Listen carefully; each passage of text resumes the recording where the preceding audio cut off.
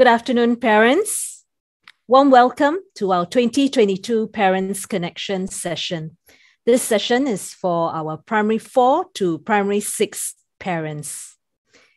In this section, we have two segments. One will be the video briefing. I hope you remain online and listen through the videos because they are important information for you uh, through the video briefing by the school leaders. The second segment will be the Q&A segment where we'll take questions from you. But do listen in to the video briefing before you send in any questions. And if after that you still have questions, do send in your questions through the QR code on screen. I hope you have a meaningful time and that you'll be able to continue with us throughout this session. Thank you. We will transit to the video briefing and see you back here for the Q&A. Good afternoon, parents. Welcome to our Parent Connection session. I hope you've had a good start to the year and you continue to have a meaningful and loving year with your family. I'd like to begin by appreciating you and a big thank you for journeying with us, especially through the last year where we had to manage COVID 19 and you were right beside us and right alongside us in this journey. And to partner us and walk alongside the school, it's important for us to share with you our directions, our vision, lifelong learner, virtuous leader. And we achieve that through providing a quality education to nurture wholesome individuals. These are our values, our Lakeside values, and our children are very familiar with our Lakeside values with the acronym of L Pride love, perseverance, responsibility, integrity, diligence, and respect. Do find time to talk to your children about these values and the stories that we share with them. Our strategic thrust on nurturing Lakers to be future ready is a strategic trust that we have dedicated to the development of our children. And we hope that the end of six years of education in Lakeside, our children will be critical thinkers, creative problem solvers, active contributors, responsible leaders, and confident communicators. Every year, we have a theme that we communicate to students, teachers, and our parents. And this year is no different. In fact, this year is special because it is our 20th anniversary. Lakeside turns 20 as a young adult, and the theme for this year is growing in gratitude, soaring in synergy. I like to say it this way because it starts with remembering those who have gone before us. Where we are and who we are now actually is a result of the people who have worked on Lakeside to make Lakeside what it is today. So that's growing in gratitude. Soaring in synergy, we want to look to the future and soar to greater heights. And we can do that when we do it together in synergy and together with our stakeholders, with our teachers, with our partners. This will be a page in your stu- in the student's handbook on page 26 and 27. Do take a look at your child's student handbook. And as part of our 20th anniversary celebration, we have 20 challenges planned for your children. And would, we would like you to join us, join your children in working through these challenges. So we have various challenges. For example, we have the um, Science Week Challenge, we have the VIA Challenge, we have a stu- uh, School Leaders Challenge as well. So do look out for the various challenges. We've embarked on the first one already. So do talk to your children and find out what they have to do to participate. And once they have completed that challenge, they'll be given a sticker. So look out for this. And with that context of our 20th anniversary and our theme of soaring in synergy, growing in gratitude, we want to provide a unique Laker Total School experience. This may look familiar to you. This is the frame that we use to communicate how we provide that total Laker school experience.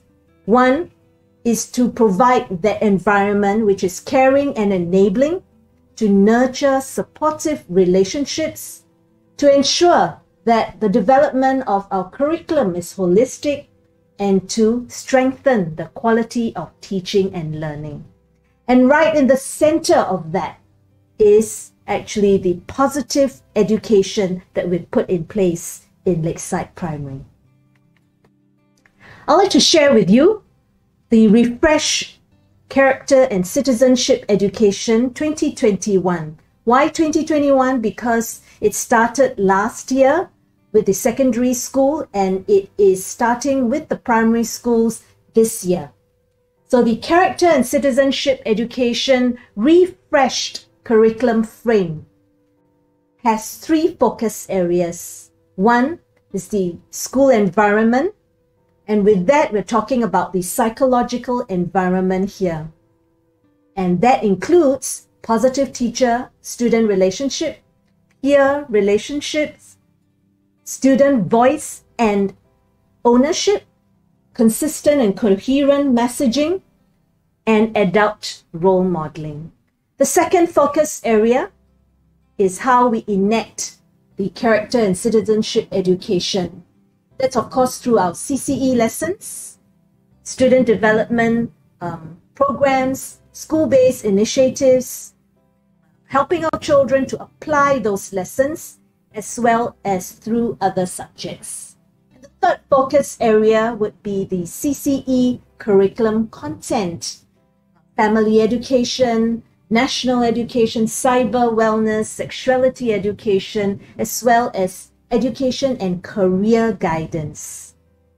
And right in the center will be the core values. So, why do we need a refresh character and citizenship education? Well, it's because things around us, things in the world are changing and that will bring about changes in the needs of our children as well. There are different stresses that our children go through, and the importance of looking into mental health and resilience for our children is key. Our students are also subjected to the influence of the digital space and our values of our parents, our children are also shifting.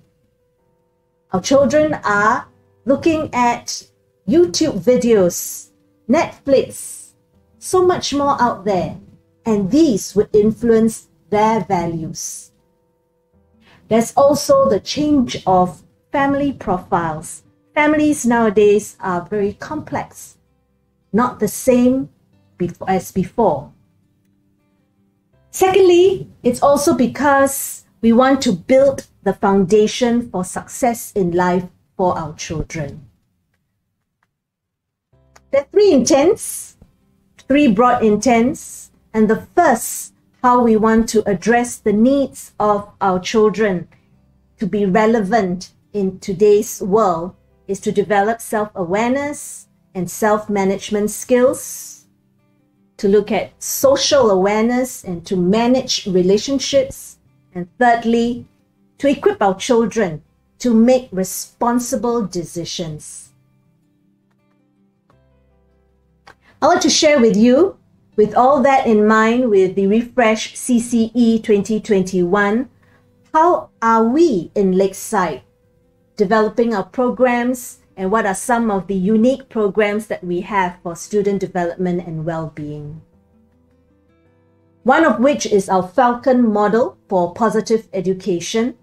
And Falcon here is an acronym which stands for fostering pos- positive relationship, A for accomplishing goals, L for leveraging strengths, C counting your blessings, O for opportunities to contribute, and N nurturing wholesome individuals.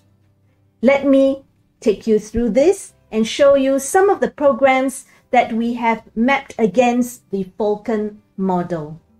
The Falcon model, you can see some of our programs. There's the peer support uh, program. We have our project gratitude under counting your blessings and our ALP thinkers with heart under opportunities to contribute and also mental health support and under nurturing wholesome individuals. So we have the various activities that we have designed to ensure that we are able to meet the needs of the children using the Falcon model. We also have the SOAR curriculum, which we have customized um, and included in our FTGP, our Form Teacher Guidance curriculum. SOAR stands for Strengths Based Development. So, for example, our P5s and our P6s go through this program where they discover their strengths and find out how they can leverage their strengths. O for optimistic disposition, how we can teach our children to be appreciative and to show gratitude to those who have touched their lives and to reflect upon how they can be positive, how they can be resilient, and how they can take on that disposition of being positive in their lives. A, achieving their personal best includes target setting, setting smart goals, and having an understanding of success is not just about scoring well in their tests, and it goes beyond that. Of course, R is about relating well with others. So we share with our children social skills and how to attend to conflicts.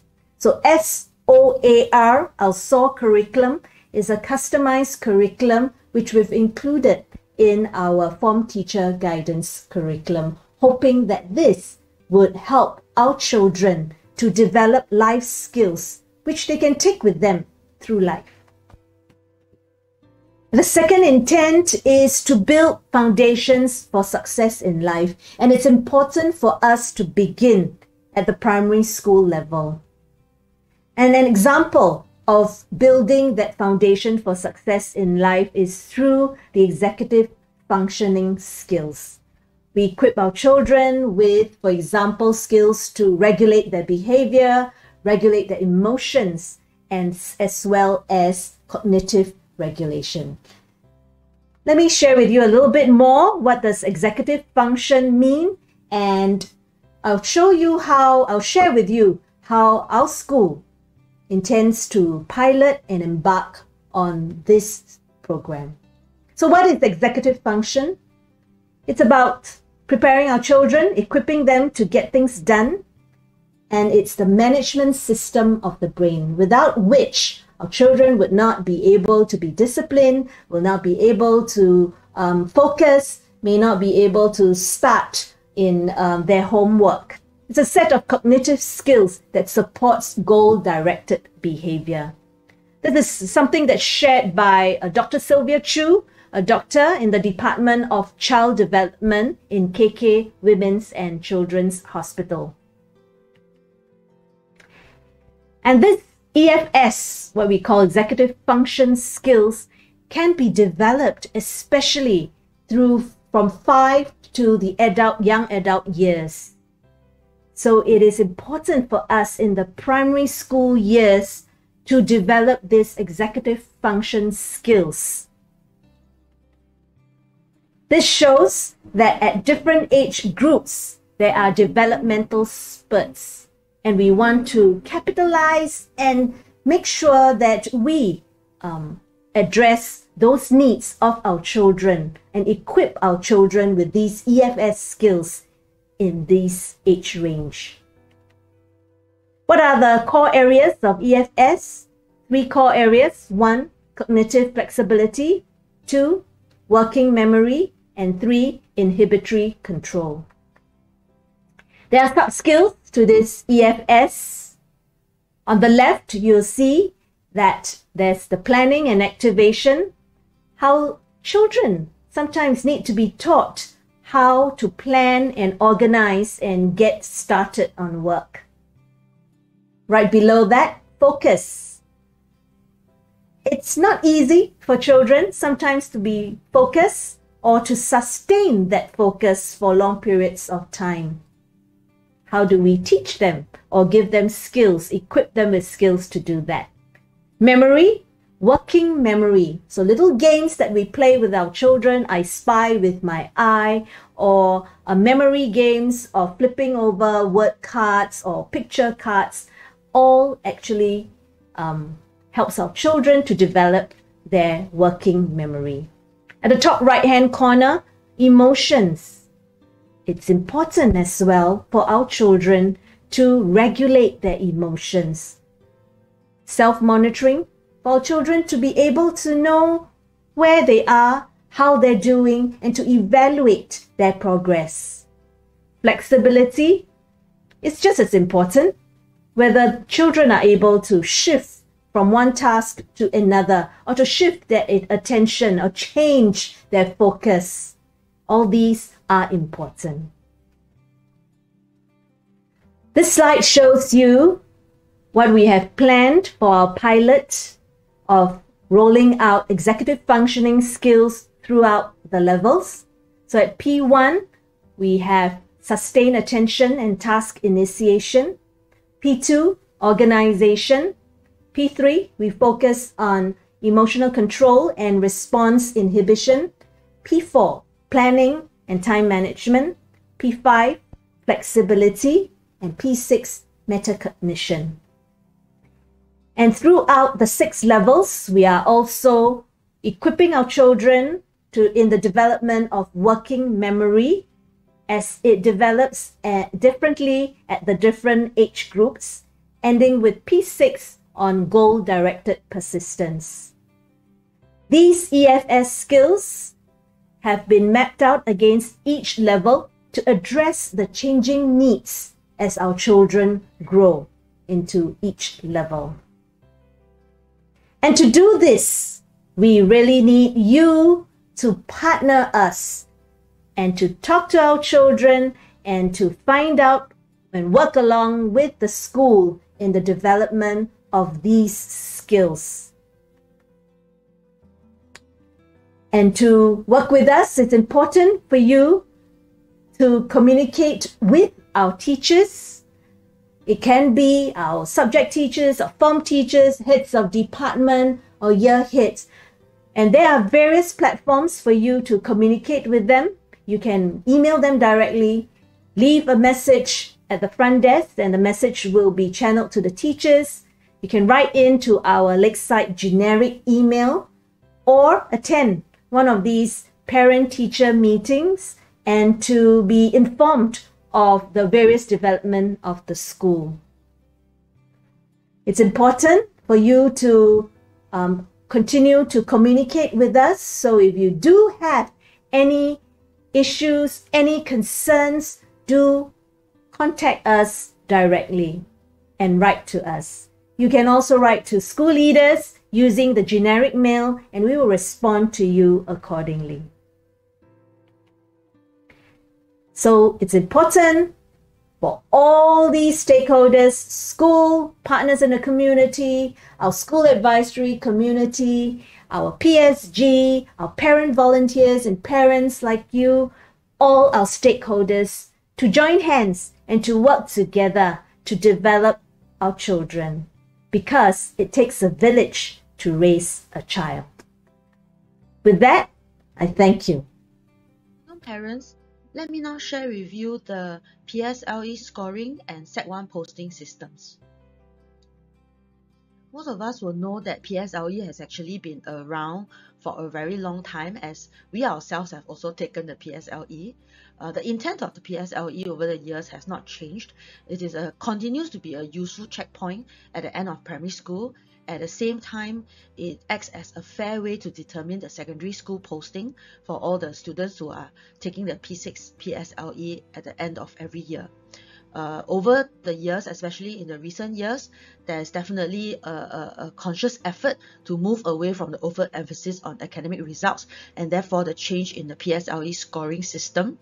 Uh, three key uh, purposes. Number one, to reduce the fine differentiation of students' exam results at a young age. Number two, to recognize students' level of achievement regardless of how his or her peers have done. So in the new system, uh, the it, it, it takes into consideration the actual scores of your students of your child and not the score of your child in comparison to his peers.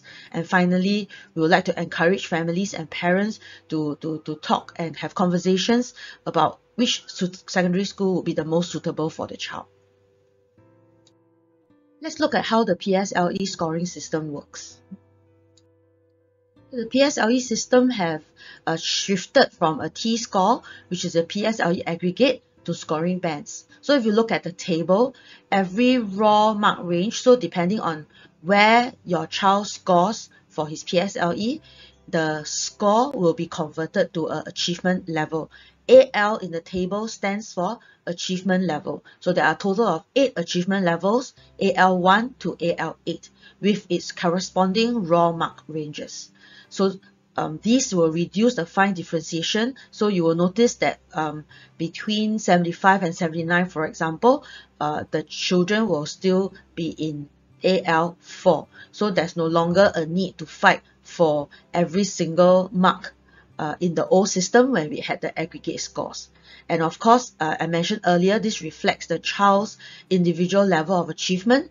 So it's based on the raw score of your child's result not vis-a-vis or in comparison with his peers. Okay, similar for foundation subjects, uh, the raw score is also given a mark range. Depending on how your child scores within the range, he will be given an ALA to AL6. The ALA and AL6 will then be converted to a standard level AL as shown in the previous table. So a A will correspond with a AL of 6, a B a 7, and a C at the foundation level will be AL8 at the standard level. Okay, so each student will get a, a achievement level for each of the four subjects. So when the total score of each of the achievement level is added up, as you can see in the example, English 3, Mother Tongue 2, Mathematics 1 and Science 2, the child will get a total PSLE score of 8. Okay, so depending on the kind of score that they get, uh, the child will be able to opt for the different streams in secondary school. So as you can see, the, the, the bands again for each of the options are pretty wide. So uh, the depending on the score, the child will be placed at a stream that is suitable for him or her in secondary school. Okay, do take note in the last column that I put in the green box that uh, the it is important that your child gets AL7 for English and mathematics. Should they get an AL8 for either one of the subject, the child will likely have to repeat uh, primary 6. For students who like to opt for higher mother tongue in secondary school, here is the eligibility criteria. Uh, the first one is they must have a PSLE score of 8 or lower. Uh, alternatively, if you have a PSLE score of between 9 to 14, you can still opt for higher mother tongue, uh, but you must get an AL1 or 2 in your mother tongue. Or if you are already doing higher mother tongue in primary school, you need to get a distinction or a merit. Now let, let's look at how Sec 1 posting system works with the uh, level achievement PSLE score. Each student will be given up, up to six choices in selecting their secondary schools. So similarly, academic merit will still be the top priority. Then uh, in this new system, the choice order of schools is also important. Uh, so typically, the score will be used to decide who goes, who gets a place in secondary school. Should the PSLE score be the same, there are several tiebreakers. The first one being citizenship. So a Singapore citizen will have a, a higher priority over a permanent resident, for example. So should the citizenship be the same, then they will look at the choice order of schools. So if you are very keen to enter a certain school, it's important therefore to put it as a higher choice out of the six choices that you and your child can make together. And finally, if all else fails and everything remains the same, uh, computerized balloting will be used to determine the placement. PSLE score ranges for individual secondary schools. The score ranges for all primary schools should be available on the MOE websites listed here on this slide by the end of March 2022. Uh, do go in and visit to look at uh, the intake for each secondary school if you are attending to uh, place your child in a SAP school uh, that offers higher Chinese, uh, then please pay attention to the following slide. Uh, first and foremost, I would like to share that uh, a student who doesn't do higher Chinese in primary school can still opt to go to a SAP school and take higher Chinese in secondary school. Uh, so the, the, the entry to the SAP schools will still be determined by the PSLE score. So if you look at the example, first student with a PSLE score of 7, even though he does not have higher Chinese in primary school, he will still be the first one uh, with the priority to enter the SAP schools. Okay, subsequently, when the scores are the same, they will look at the higher Chinese grade, whether you get a distinction or a merit or a pass, and they will be arranged accordingly and ranked uh, in that order who goes into the next school. And finally, even if you have a distinction, but your AL score is 9, you will still uh, have to be join the queue behind those who score a, achieve a PSLE score of 8. I would like to share with you some tips on how you can choose suitable secondary school with your child. I think one important thing is to have a conversation with your child. Uh, make sure that you discuss with him, look through the schools together, attend the open houses, and come to a joint decision. Uh, I think usually from our children's uh, feedback to us, I think it makes a lot of difference to them that their parents go through this process together with them rather than the parents choose their school for, for them. As we have mentioned a few times, and I think similarly your uh, child's teachers will reinforce this with them again. I think it's important to shortlist schools that offer programs that cater to your child's strengths and interests as well as uh, academic fit. Then of course take reference from the PSLE score ranges. Uh, then that, that will act as a guide uh, as to whether uh, you think your child will be able to make it to that school. Uh, do consider uh, different sets of schools that have different PSLE score ranges uh, so that will increase the chances of your child getting in the school of your choice. Each student is given six options uh, for selecting secondary schools, so do make use good use of all the six options and, and, and fill up all the options. We do have some instances where um, the, the children did not fill up all the options and in, in the event that they are not able to get the options, the posting will then be done by MOE centrally. Okay, then of course, uh, now that choice order is very important, so do think carefully and rank your child's preferred school uh, higher to increase the chances of getting into the school. I think as parents, uh, we all want what's best for our children. Uh, so much as we push them to, to, to do their best and to get to the best school that they can, sometimes you also need to be uh, more realistic and have a good uh, conversation with our children. So be open and flexible when discussing your the child's preference and so on. Uh, have regular conversations with your child. I think at the end of the day, it's a decision that you and your child have to make together. The teachers can advise, but uh, at the end of the day, I think it's still your decision and your child's decision to make. Um, manage your own expectations, uh, much as we want our children to go to top schools, not the top schools may not be suitable for everyone. So do think about how your child can manage and enjoying, I think secondary school four years is very important. Uh, and finally, affirm your child and offer the support that he or she needs. Uh, in this year and, and in his in his journey of getting to know himself or herself better.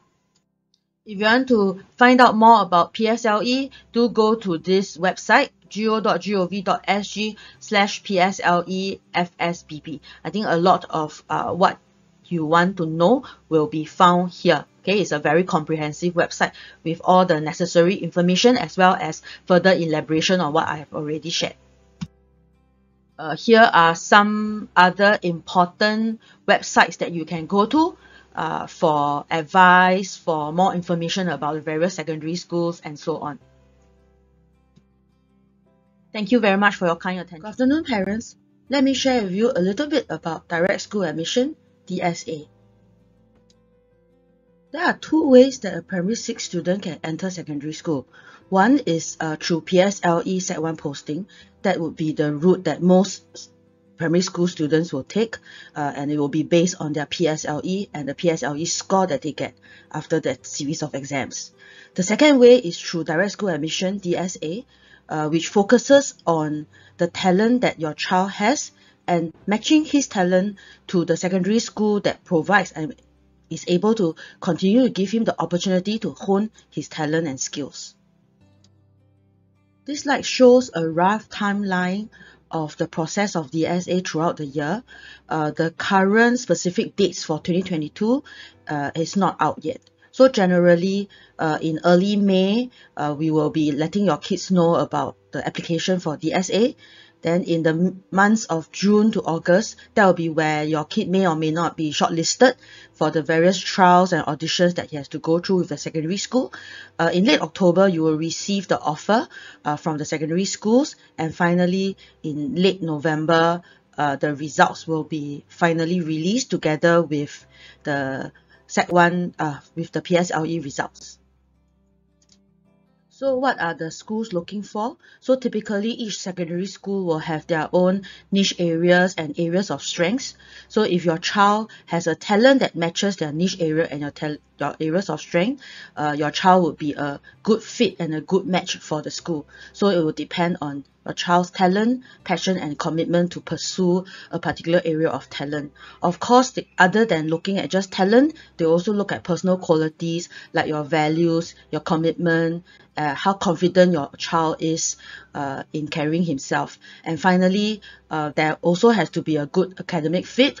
Otherwise, uh, your child may be overly stressed academically if you enter a school where the academic fit is not uh, appropriate.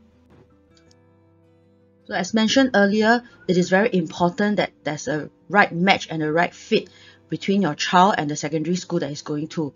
Um, definitely your child will be there for the next four years and I would think that it was important to your child and to all of us that the child enjoys and have a good learning experience in the four years in secondary school. So finding the right match is very important.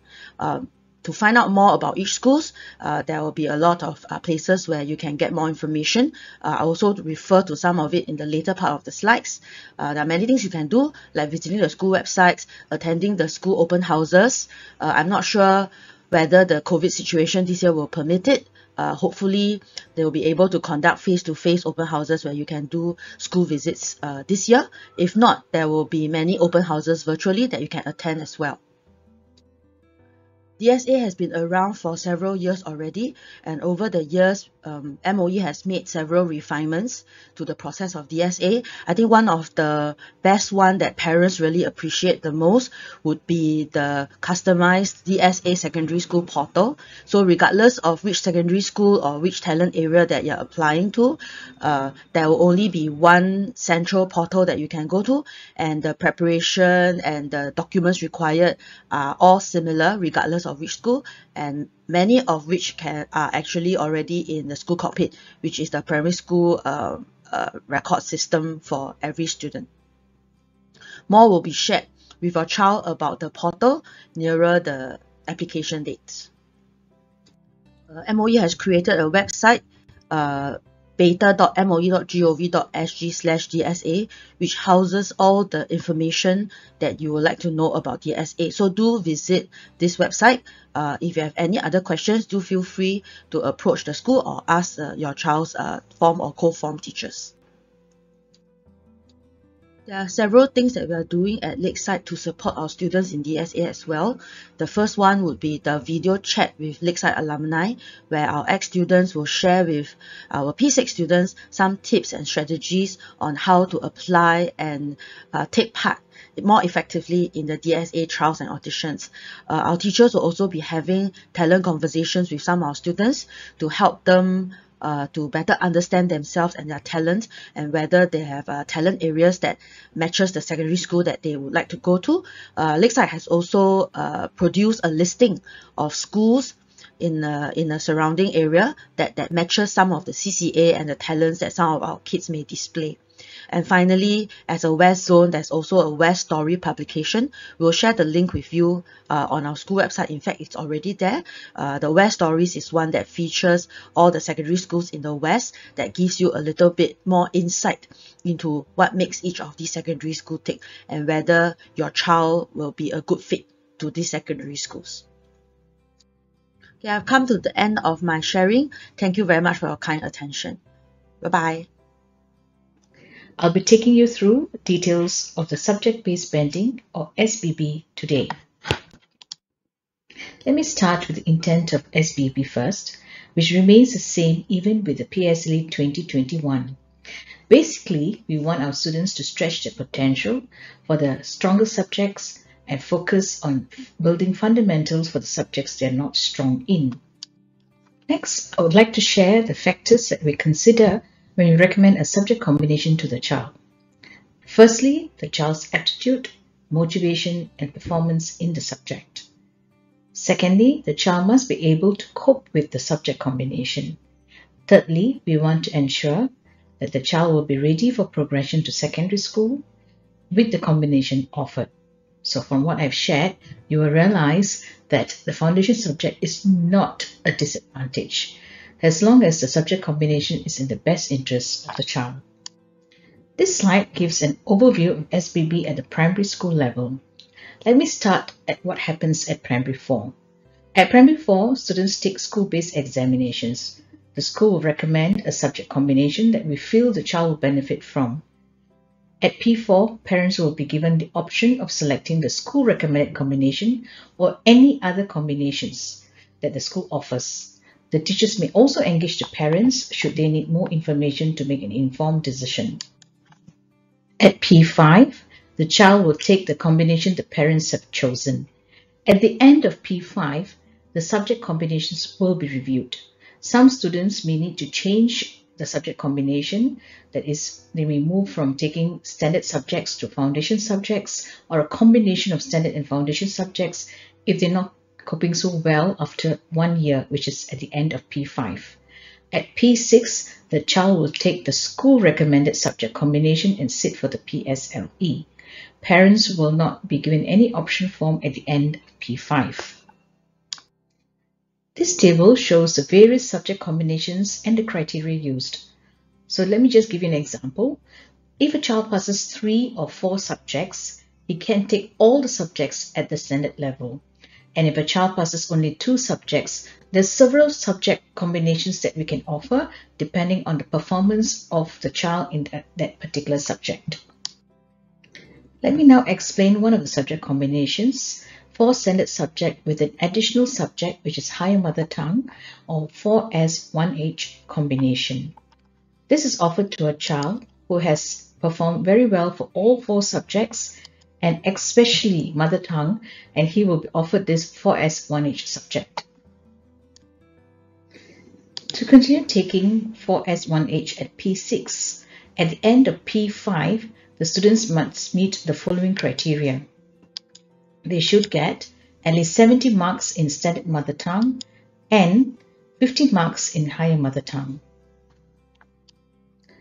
Let me explain the rationale for this criteria. Basically, the child has to be able to cope with the four subjects before being able to take a fifth subject, which is higher mother tongue. Students taking higher mother tongue will be staying back at least once a week for the higher mother tongue lessons and need to put in additional time and effort for this subject. So we want to ensure the child will be able to cope with all five subjects. This particular slide shows us the various scenarios and possible outcomes. So for example, let me just uh, explain one. Uh, pupils who do not meet the expectations for a particular subject, they will be asked to switch some of these subjects to the foundation level at P6 and that will be the subject they seek for at PSLE. So there are students who were able to take, for example, two standard subjects, standard English and standard mother tongue, while taking foundation mathematics and foundation science, for example. As we have communicated, the new AL or achievement level will take effect from this year's PSLE. This table shows the placement outcome and PSLE score. So to give you an example, a foundation subject grade A is equal to standard subject AL 6. So this example shows a child taking foundation subjects with standard subjects and this child will be eligible for uh, for example, one of the streams, express streams, if the child meets the criteria for the PSLE score. Let me share a little bit more about taking higher mother tongue at secondary schools. Students will be able to take higher mother tongue at secondary schools if they obtain the following PSLE score that you see on this screen. So a PSLE score of 8 or better or PSLE score of 9 to 14 inclusive of the following AL1 or 2 in mother tongue or distinction or merit in higher mother tongue. So a child who does not take higher mother tongue at primary school will not be at a disadvantage. The child will therefore be able to take higher mother tongue in secondary schools if he meets these criteria. Next, I will share about the HCL or Higher Chinese Language Admission to Special Assistance Program or SAP schools. Let me now share with you how HCL grades can be used for admission into SAP schools. Before 2021, for admission to SAP schools, students awarded bonus T-score points based on their higher Chinese grades. Moving forward, from 2021, students with better PSLE scores will be posted first, even if they did not take higher Chinese language. Among students with the same PSLE score, those with better higher Chinese grades will be posted first. This posting advantage applies before the tiebreaker for Sec 1 posting takes place. This slide shows the example I was talking about earlier, which is how the HCL grades are used for admission to SAP schools. So as you can see, the first child posted to this SAP school is one with a PSLE score of 7, but without higher Chinese language grades. Subsequently, the next few students have the same PSLE score. So the second child posted is one with HCL distinction and the fifth one in that group with the same PSLE score is one without HCL. Then after this group would be the next one, the sixth child, the PSLE score is 9 but with a distinction in higher Chinese language. So this captures what I've been talking about earlier. Thank you for joining us for this session. If you have any further questions, do check with the subject teachers or you can post the questions later during the Parents Connection session. Thank you.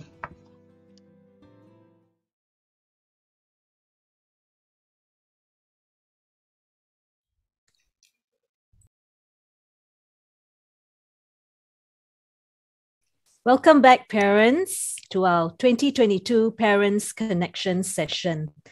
We will enter into the Q&A segment very soon. We hope that the video briefing that you've just listened to was helpful for you. But if you do still have questions for us, do enter the questions, submit them through the QR code that's right on the screen. Now, let me introduce my panel of, um, with me here, my panelists. Right at the top, first uh, individual, we have Madam Teo, HOD Curriculum. Madam Teo. Yeah, good afternoon, everyone. Madam Go, HOD for Math. Good afternoon, everybody. Mrs. Walker, HOD English. Hello, everybody. Mrs. Chi, our senior year head for primary three and four. Good afternoon, everyone. Ms. Uma, my vice principal. Good afternoon, everyone. Ms. Tan, my other vice principal. Hello, parents. Mrs. Ang, assistant year head for primary six. Good afternoon, everybody. Madam Shahida, HOD for aesthetics. Good afternoon, parents. Ms. Low, subject head for Chinese language. Good afternoon, parents. And Mrs. Kumar, subject head for Tamil language. Hi, good afternoon, parents. All right, let's begin our session. We do have uh, quite a number of questions that has been submitted earlier. Um, let's begin with school programs. So our questions fall into a few categories. There are school programs uh, for primary four to six, and then we have questions on subject-based banding, fewer because of the video briefing, and some questions on PSLE, be it um, the, the, administration of it and some of on our last year's results. Okay, let us begin. First question on our P4 and P5 program. Um, the question goes like this With the current situation, how will the school carry out our P4 and P5 camp? And there's another question on uh, swimming, the P4, whether there's swimming program for our P4. Can uh, Mrs. Chi, can you take the questions, please? Thank you, Mrs. Goh. So for swimming lessons, the school is currently still waiting for MOE's instructions. At this moment, swimming lessons have not resumed. Uh, if it should resume, we will definitely inform the parents. As for the P4 and P5 camp, last year, we, it, they were carried out in the form of a two-day day camp. Students did not stay overnight. They were conducted in the school premises we explored virtual learning experiences to meet the learning objectives for the activities that could be carried out uh, despite the safety guidelines due to COVID situation.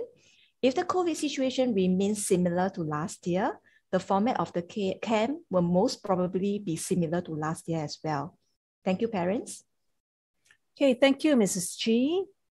Okay, let us look at um, some other questions on our program for P4 to P5. This is one question on assessment.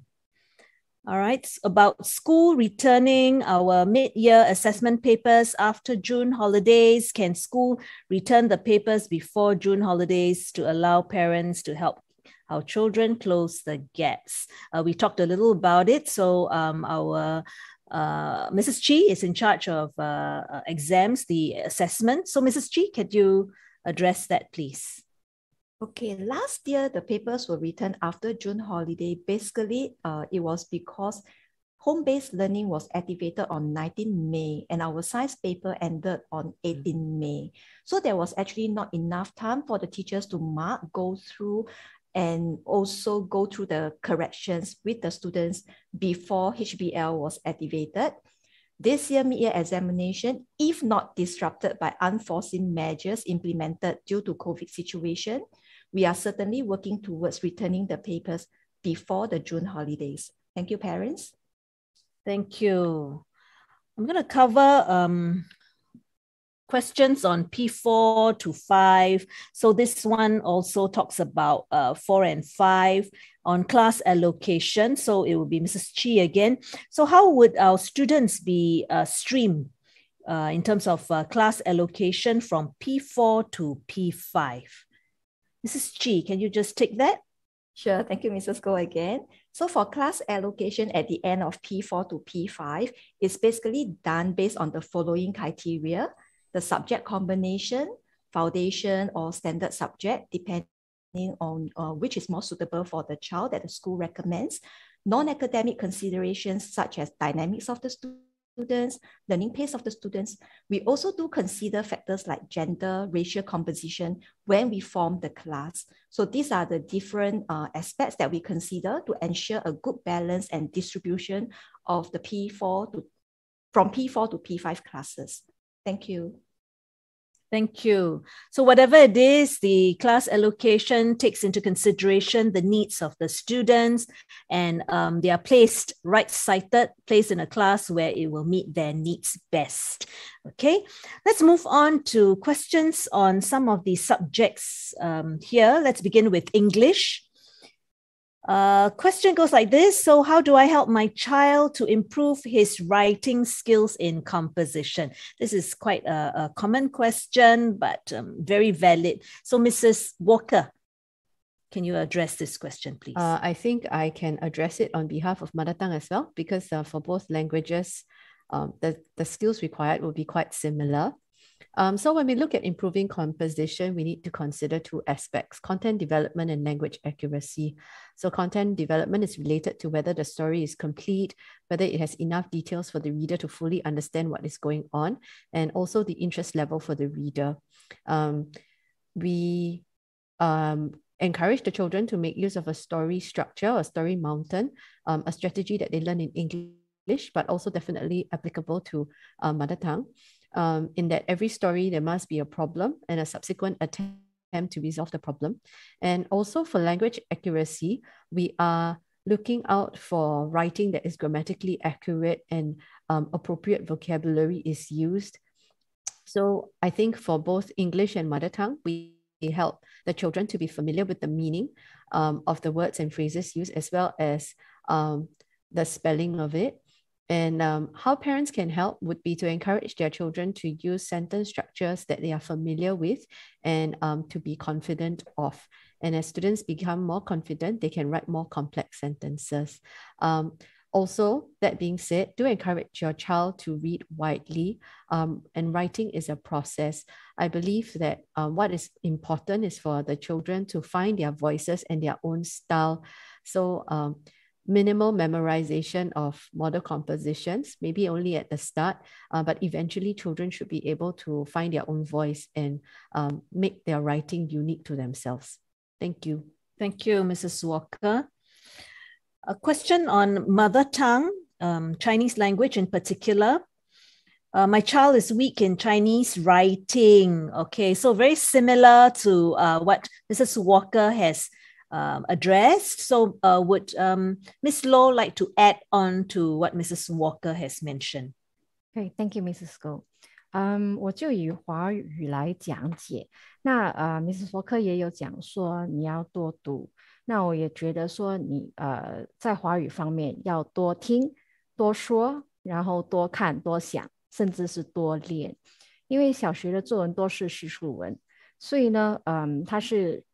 通过一个叙述一件事，然后往往都是比较正面的教导小啊小朋友呢正确的价值观，比如说遇到困难要坚持到底不放弃，这些在课文里其实也有讲到有谈到，甚至是我们的公民与道德教育也是有提到，所以其实呃孩子们其实有接触到这些，嗯，或许就是说呃家长也可以就是说呃也同步进行啊一些。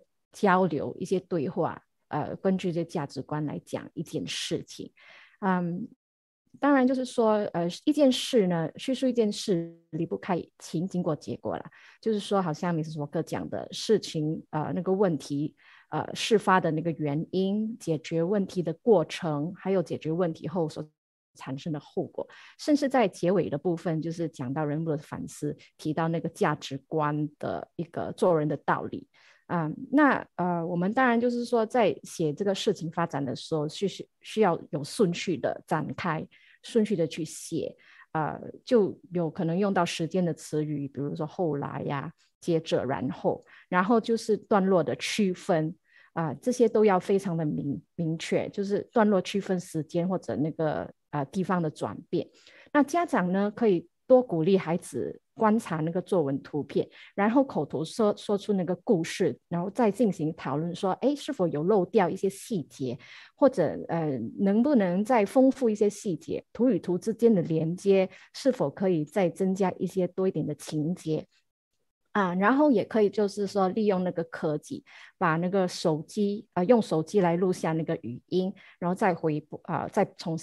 经播放，在写作的过程中，一边听一边在写，啊，这个过程虽然很漫长，但但是我觉得说，呃，在顺序方面、叙事方面，就会帮助到啊小朋友呃在写作方面的那个呃顺序啦。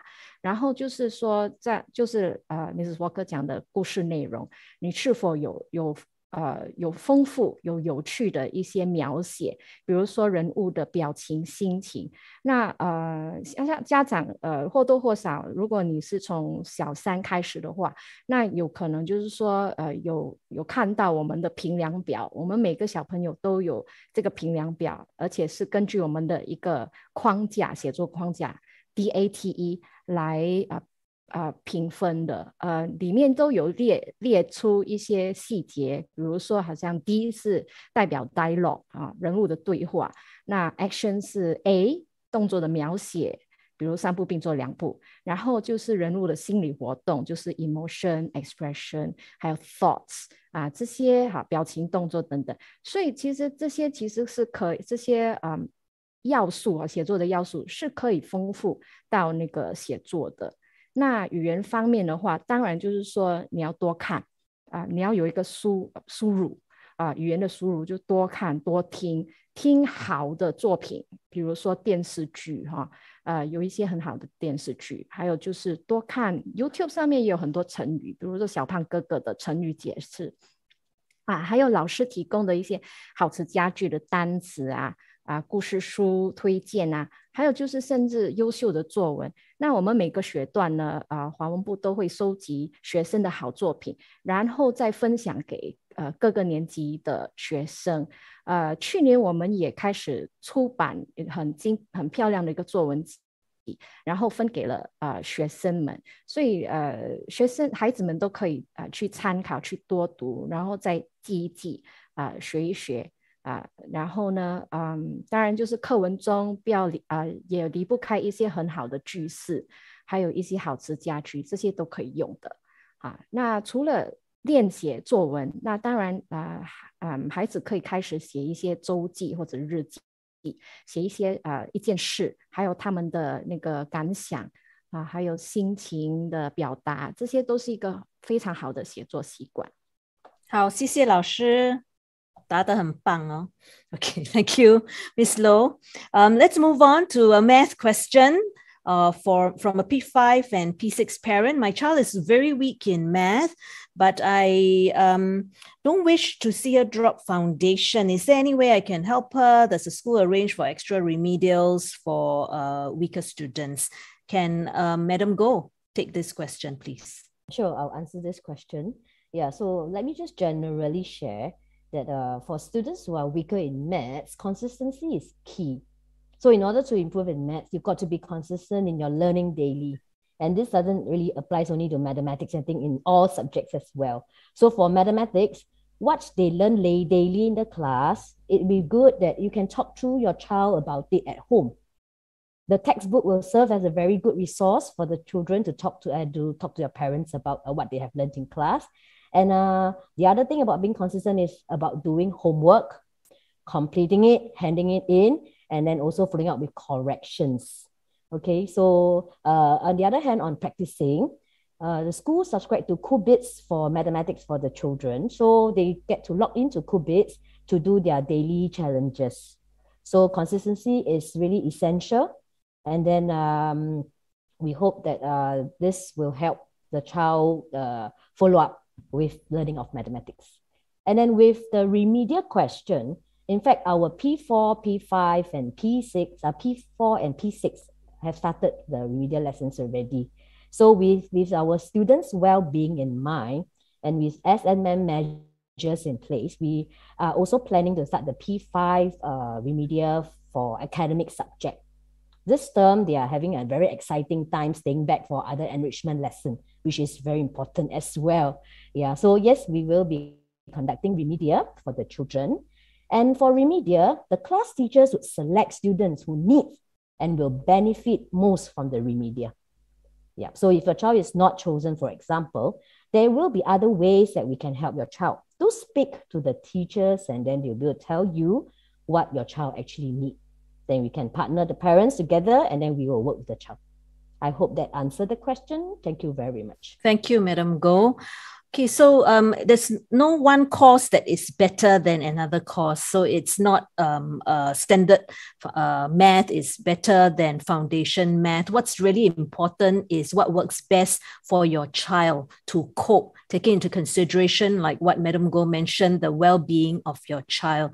So some children, um, when they have switched to foundation math, uh, actually do better, build uh, uh, better, increase self esteem, and they're more confident in the subject. So it's really about your child, your child's need, and um, to place your child in the right course. Okay, let's move on to the next uh, question on higher mother tongue. So, could I get um, uh, Mrs. Kumar to answer this question, please, on P4 higher mother tongue? So, does uh, Lakeside offer higher um, mother tongue? Let's do uh, talk about mother tongue in general, not just Chinese.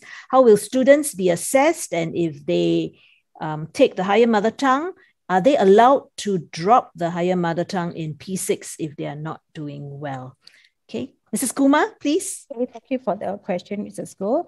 So in Lakeside, we have been offering higher mother tongue at P5 and P6 uh, levels all this while, and students will be selected for this higher mother tongue based on their performance during the subject-based uh, banding exam at the end of P4 level. And uh, on the part, uh, on the question about students, how will they be assessed? Basically, there'll be two components. They will sit for paper one first, the compo writing, and they also have to sit for paper two, which includes the uh, language use and the comprehension skills. And at the end of P5, if the students are not doing well, we would recommend them to drop so that they can use the time um, where they take higher mother tongue and in, we see that they are struggling, they can use that time to concentrate on the other main subjects, which is the English, math, science, and the standard mother tongue at P6 level. That will definitely help them to channel their energy to prepare for PSLE. And on the same note, maybe uh, let me also address on the question about dropping higher mother tongue and how it will impact a child's uh, AL score in PSLE. Mrs. Goh, maybe I address yes. that part. Please go uh, ahead.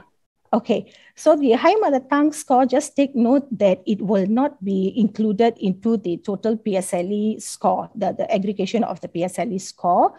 And the advantage of taking higher mother tongue is basically to build one's uh, interest in mother tongue as well as to deepen their knowledge.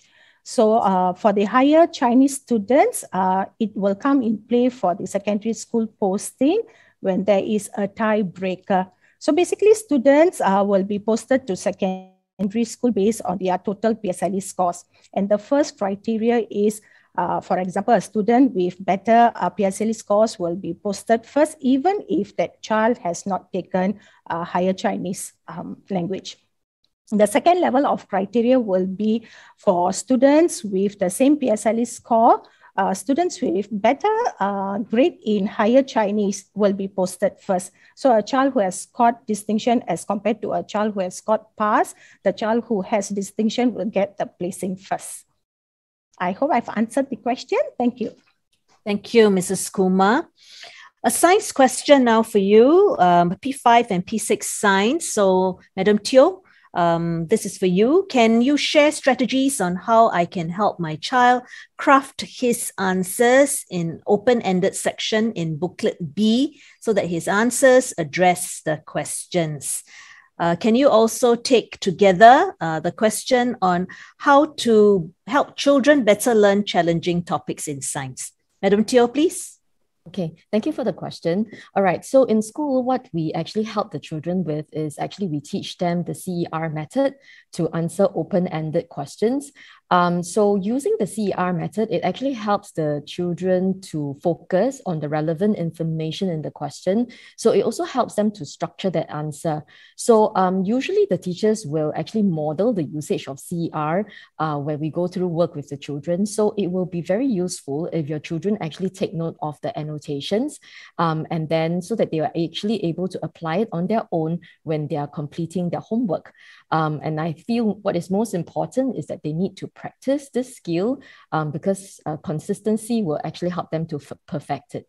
Okay, um, so with regards to um, challenging topics, usually children will find topics which are a little bit more abstract, um, challenging to understand in terms of the concepts. Uh, so what parents could actually help um, in, in this respect would be to engage the children in conversations, like because science is actually all around us. So it's really about application. So if you engage your children in conversations about things that they learn in school um, or things that they observe around them and help them to actually see the connection uh, between what they learn uh, in school and what is actually happening around them. So I think that will actually be very useful. Um, and of course, do encourage um, your child to read widely beyond the textbook. So we have actually started, like this year, we have actually started the subscription for young scientists. So um, we do notice that um, there's a high take up rate and many children have subscribed to that. So um, reading additional information beyond the textbook will actually be helpful. And of course, um, watching documentaries science, science documentaries um, that, that actually shares extra information with them. I mean, it creates that, uh, that interest and then it also um, gets them excited about the topic. Um, but what is most important is to work with the teachers. So if the if your child have any questions that they're not um, clear about, do encourage them to come to school and clarify with the teachers. And I feel that's most important. Yeah, thank you. Thank you. Okay, let's um, take a question on CCA. Okay, that's uh, for Madam Shahida. There's a question for you on um, child taking uh, who attends gymnastics with outside agency. If there's an inter-school competition, can my child participate by representing the school, even though the CCA is not offered at Lakeside? Madam Shahida. I'll take this question. Uh, yes, your child will be able to participate in the competition. Uh, there will be provision to support schools where that sports, for example, here the question on gymnastics, right? We do not have it offered as a CCA. Uh, but in this instance, uh, we will need the parent or a legal guardian to be appointed as the school adult representative uh, to accompany him or her for all the competitions that follows uh, I believe that uh, you we will get in touch with you so that we can uh, follow up uh, to go through the processes and also the necessary briefing required to prepare you for this appointment. Thank you. Thank you, Madam Shahida. On CCA and DSA, um, Ms. Tan, uh, can you take this question on DSA? If my child does not have the CCA to apply for a D- DSA area, what can he or she do about it? Um, can CCA teachers advise further? Um, could you take it with the, uh, another question on also C, uh, uh CCA, DSA in secondary school uh, and how um, the child can apply for, for DSA? Ms. Tan, can you take those two questions? Please unmute yourself, Ms. Tan. Okay, sorry about that. Uh, in DSA, I think even though the secondary schools are looking for specific uh, niche areas that their school are strong in, like basketball, choir, for example, uh, in their selection, they do not only look for specific skills in this sports area or arts area. They're also looking out for students who have the right disposition, uh, the right learning attitude, and the motivation to be ready to train and practice practice to become better. So skills like agility, flexibility, artistic disposition, leadership qualities, confidence, these are skills that can actually transfer across different CCAs and activities. So if your child during the trial and audition, they are able to show that they have some of these dispositions, they can also be selected uh, for that particular DSA, even though they do not offer the same CCA as what the school is looking for. Um, as we speak, we are also in the midst of preparing more sharing uh, with our P6 students. So definitely there are plans for our teachers and our CCA teachers to have further conversations with the students who may be interested in DSA. And as well, we will be conducting a briefing for parents just looking and addressing the issue of the SA because I think there's a, a lot of information to be shared. Okay, so um, another platform, we will definitely have another platform where we will engage any parent who's interested to find out more about it. The specific dates and details for this year's DSA is not out yet. So uh, we'll be waiting for those information to come in. Then we'll have a meeting with you and we are able to give you more specific information that, that could be more helpful than for you. Thank you. Okay, thank you, Ms. Tan. Okay, so we are moving on to um, questions on PSLE, and there's one question um, on the, the results, our past year results.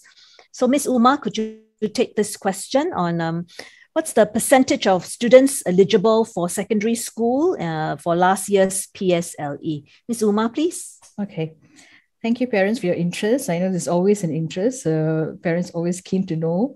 Uh, our students did do well, and close to 97% of our students uh, made it to secondary school, and of which uh, more than uh, about 60% went to the express stream. All right, and about uh, close to 28% in normal academics. So they did well. Thank you.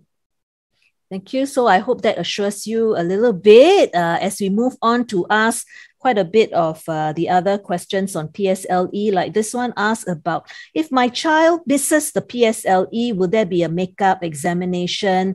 Uh, and if there's no makeup, how will his score be calculated? Uh, Ms. Tan, you'll be able to address this? Uh, yes, thank you. Um, there is no makeup for PSLE. Uh, I think children missing PSLE is not a new problem.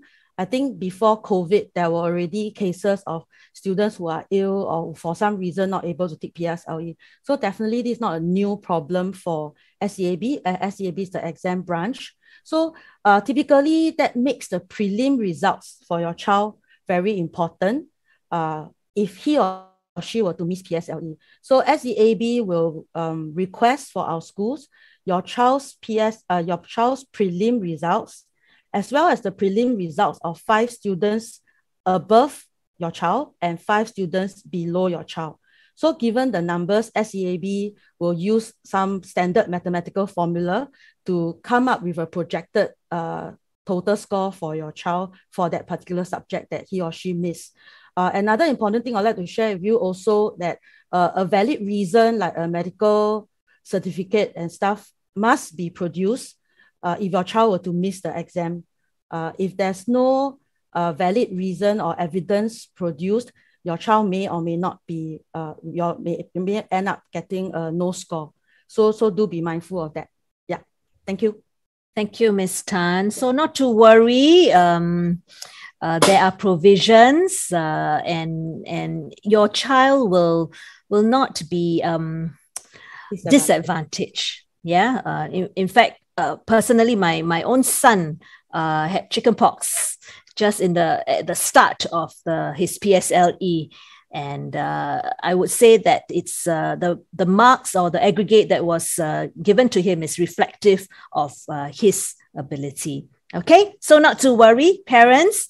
Let's move on to the next question. Um, it's related on uh, COVID situation, if, if, if there's a positive case, or I would say if you are, the child is a positive case, uh, and and whether the P you'll be able to take the PSLE. This question asks about what happens if there there are positive cases in the class. In the first place, there will not be uh, positive cases which are allowed to take the exams in the class. So if you you are positive, don't come. Safety of others and yourself is first priority.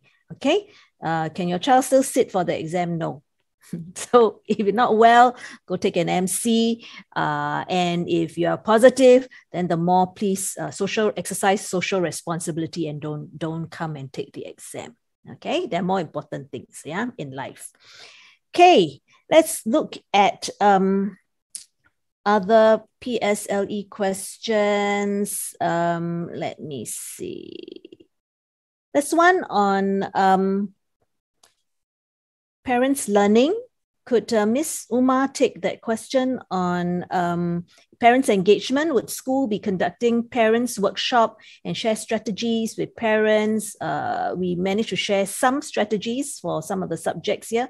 So whether there'll be one, we used to have it on a Saturday face to face. Yes. Uh, Miss Uma. Yes, come. yes. Uh, as Mrs. Goh said, we used to have a series of workshops which were put on hold during the COVID period due to SMM. We are reviewing our this series of workshops we've been uh, conducting, and now we'll launch a new series, a parent learning series this year. However, you're starting with the P1s and 2s. So for the rest of the levels, we uh, encourage the parents to contact the subject teachers uh, if you'd like to know more about the strategies used in the classroom or you want to learn how you can support your child better. So uh, feel free to just drop an email or just uh, give the subject teachers a call and they'll be able to take you through some of these strategies. Thank you. Thank you. are quite a number of questions. We try to answer as many of, of them as possible, but if you don't get to answer the question that you've put up, don't worry, we'll get back to you either personally or we will send an email to answer your questions or through your teacher, subject teachers. There's one on science, on practical, science practical. So will there be science practical exams for primary five? Madam Teo, please. Okay, so we do actually, we have actually planned for a non-weighted practical component for the P5s in term three. So um, more details will actually be given nearer the date, um, but not to worry, the children will be given sufficient opportunities to actually practice the practical skills um, throughout the lessons during the hands-on activities, as well as the, um, the science investigations that they conduct during lessons. Yeah, thank you. Okay.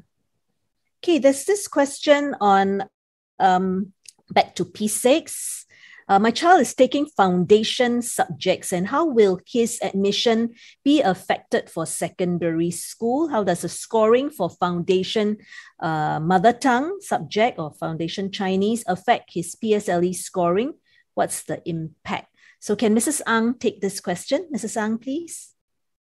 Thank you, parents, for the question. So, just want to um, assure parents that foundation courses for students taking foundation courses, um, going to secondary school, it would be pretty much the same as uh, students taking standard courses. So let me explain it briefly.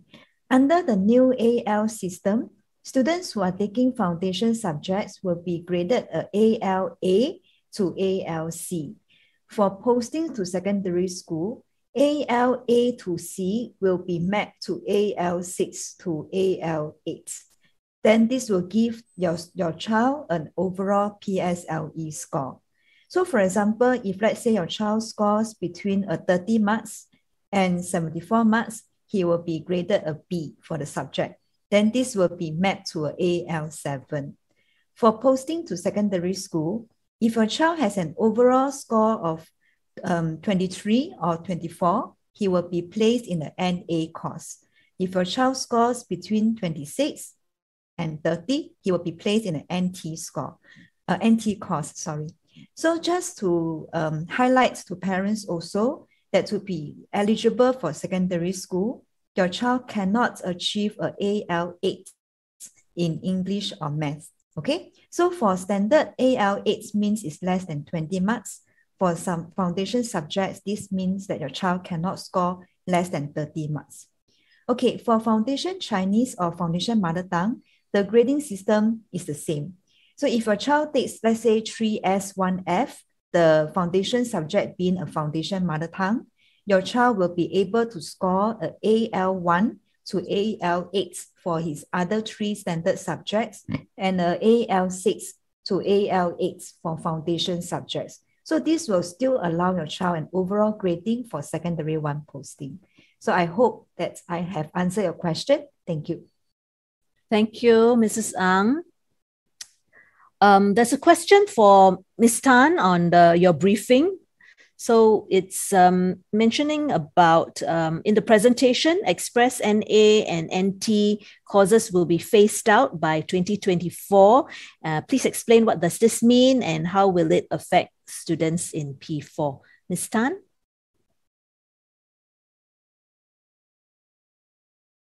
Please unmute, Ms. Tan so sorry. I think I'll take this question uh, with another one that asks whether uh, if a child is placed in a normal tech stream, can the child choose to repeat? Okay, so uh, typically PSLE result is a placement test, which will tell you which is a suitable course for your child. So should uh, a student be placed in a normal tech stream, then the child will have to opt for the normal tech stream. Okay, the repeating is only for students who fail their PSLE uh, we also take into consideration the self-esteem and the emotional aspect of the child, uh, which is very important. Imagine seeing all your friends going to secondary school while you have to stay in your primary school. So there could be some negative impact there. So repeating really is a, a, a last option for students who really cannot clear the PSLE. So we will advise all parents to move on, uh, their children to move on to secondary school. So uh, in some schools, they already have what is called full subject-based banding. Okay, this is a situation where a child, for example, could be posted to the normal tech stream, but I may have done well for my science exam. I'm quite strong in my science. So in which case the child will actually be allowed to do the science subject at the NA level. So even though I'm a post to the NT stream, I'm able to do subjects that I'm strong in in the NA stream. So they, they, they do allow cross streams in some secondary schools. So to address the question about the phasing out of NANT, so this will happen when all the secondary schools are able to offer full subject-based banding. The specific details of what's going to happen in 2024, we do not have it yet. So certainly when we get more information from MOE, we will inform the parents. So typically the child will do the subject at the ability that they are able to. So if I'm good in two subjects, I can do those two subjects at a higher level, and the two weaker subjects I will do at a lower level. Therefore, there will not be any NT NA stream anymore. Yeah. Okay. I hope that answers the question. Thank you. Thank you. There's another question, Ms. Tan, on DSA. Would you be able to take it? Mm. On um, how will parents be informed on DSA application window period? Um, and if my child applies for DSA and does he still gain admission of the place offered if he does not meet the cutoff point of the school? Uh, one obvious thing is that if uh, you have been offered a place and you don't meet the the minimal cutoff point for that offered place, um, then you lose your place. Okay, and uh, you want to take the other other part of the question, uh, Ms. Tan? Yeah. Um, okay. As mentioned earlier, we do not have the specific dates yet. Uh, usually we will receive this information sometime in early April. So once we have the information, we will definitely share it with the students and we will also conduct a separate briefing for all parents on DSA. Uh, then we'll be able to give you uh, specific and exact advice on what needs to be done. Uh, as for the cutoff point, typically if your child is able to make it to the course that the school offers, uh, your child will not lose the place if he gets it for the DSA. Okay, thank you, Ms. Tan. Um, I think it's 5.25. We do not want to keep you. For the other questions on the subjects and how you can develop your child further in English, math, mother tongue, and science, uh, look out for um, uh, uh, connections or um, advice from your uh, the subject teachers, and um, do stay connected with your form teachers and subject teachers. The other one would be um, DSA. So look out for when we are going to hold that uh, session on DSA. There'll be more details. It's just too much information for us to do that here. Uh, and then we will give you the details and the guidance for application of DSA.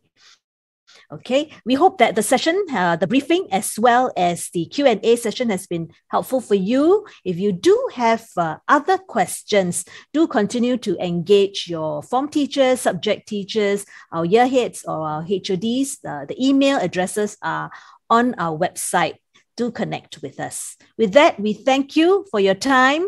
Have a good evening and a good weekend. Thank you.